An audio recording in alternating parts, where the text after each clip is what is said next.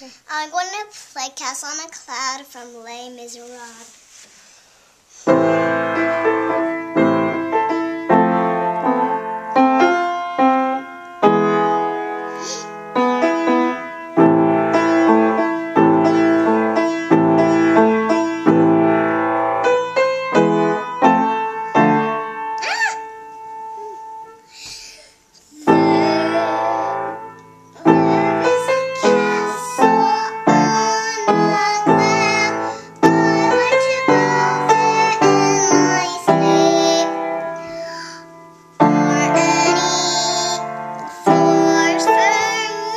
it too.